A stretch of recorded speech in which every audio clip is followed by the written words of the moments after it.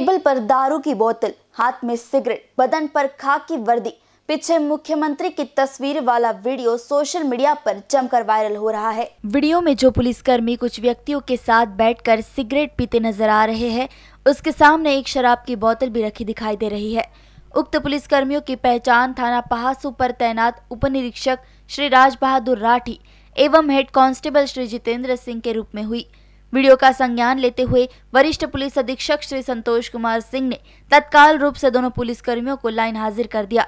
इस प्रकरण की निष्पक्ष जाँच हेतु क्षेत्राधिकारी शिकारपुर को दे दी गई है। बुलंदशहर से जावेद खान के साथ मोहित भुटानी की रिपोर्ट।